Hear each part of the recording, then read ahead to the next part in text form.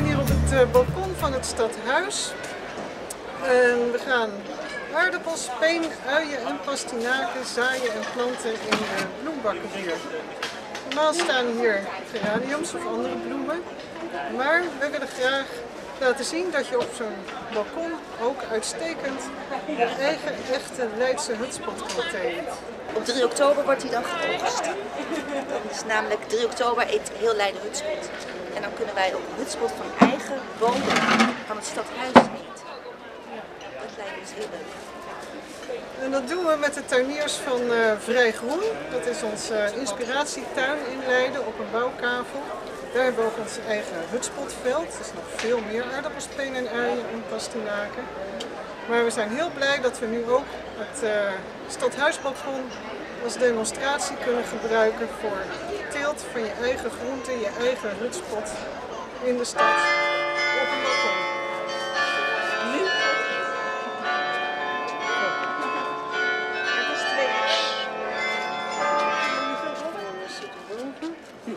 Alsjeblieft. In die bak mogen drie raja's. Oké. Nou, dat is eigenlijk zo gepiept. Piepers. Zo gepieperd. Zo gepieperd. Nou, in de bakken 1, 3 en 5 komen aardappels. Uh, daar komen de raja's. Hier in het midden de bionica's. En aan die kant de ditta's. Drie rassen. Die ja. allemaal goed uh, uh, resistent zijn tegen aardappelziekte. Dus daar hebben we geen last van. Een beetje meer gekomen. Op de hutspot. Ik hoop ja, dat we met 3 oktober een feestmaal hebben. Dat hij net zo oranje mag worden als dit drankje.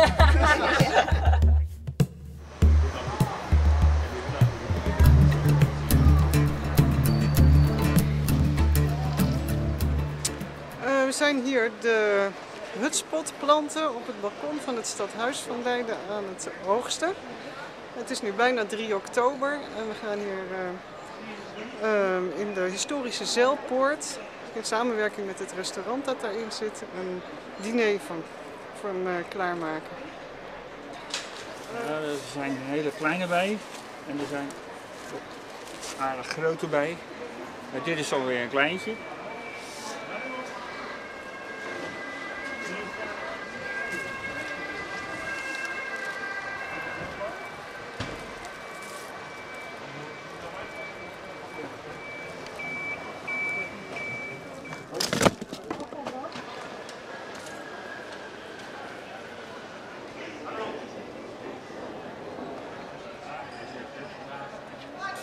Mooie bloemetjes.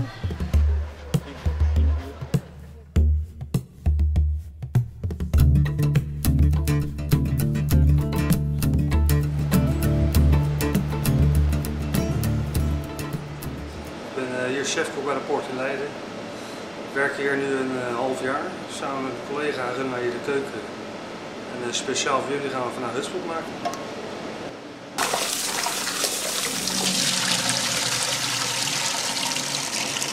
De hutspot, uh, een stampotje van aardappels, winstpeen en ui. Dan weet toevallig dat ze vroeger, de tijd van Leiders ontzet, ook de hutspot maakten met andere soorten wortel. Zoals pastinaak. Dat gaan we vandaag ook doen.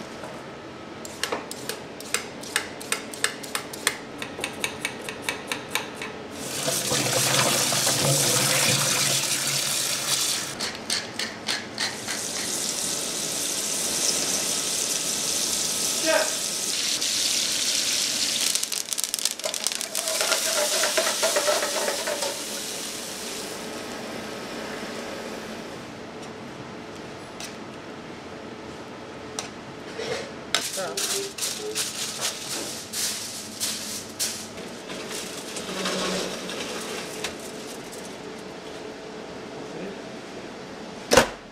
ik ben Jur van Brasserie Report en de mensen hebben vanavond genoten van deze biologische wijn. Hij is gemaakt van 100% Gamay druif, is een rode druif uit de Loire-streek. Hij komt uit Touraine, dat is een uh, plaatsje daar.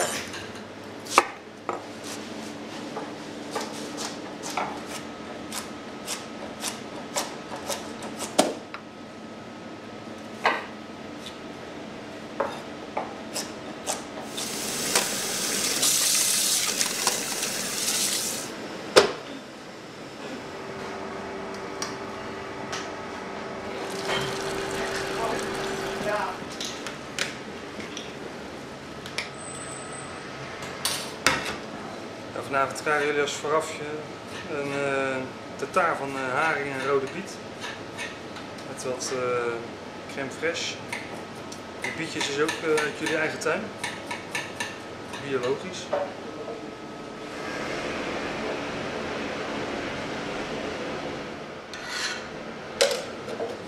En als een dessertje krijgen jullie vier soorten boerenkaas van de kaasboerderij uit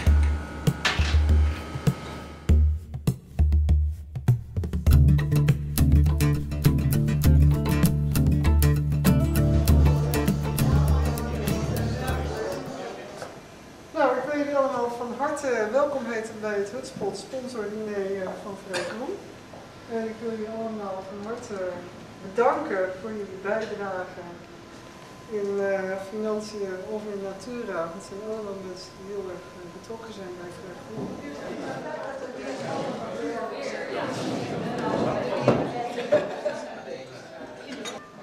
En toast uitbrengen op Vrij Groen. Nou, dat is uh, nog maar korte tijd, maar Vrij Groen blijft als zodanig natuurlijk bestaan. Alleen het verhuist naar een nieuw terrein.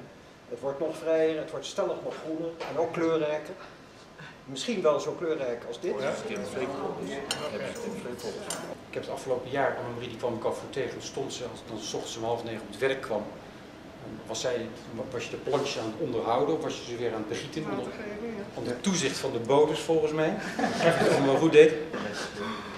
En ik moet zeggen, het is, de, de, ik vond het wel, uh, ik vond het niet alleen charmant, ik vond het eigenlijk ook gewoon hartstikke gaaf. Dat je gewoon, dat, dat het daar maar groeide in afwachting tot, het, tot het feest. Dus als die Spanjaarden weer terugkomen, of wie dan ook, hebben die voedsel in de stad, dus het zal niet weer gebeuren. En dat is natuurlijk toch uh, dankzij ook de gemeente Leiden zo wordt. Dus we moeten gewoon zelfvoorzienend zijn. Ja, ja, ja. kunnen we lang het beleggen Dat is nooit gelukt. Dat is zoveel. Ja, oké. Klappen opgevangen worden. Ja.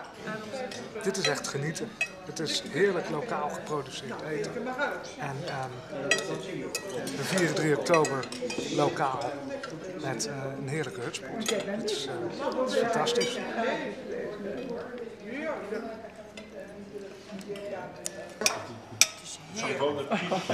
Ik ben eigenlijk niet zo van het thuisfeest, maar het is echt zalig. Maar de enige die echt lijkt is Florian Kals, hè? En de andere? Een paar weken terug hebben we het. Eh,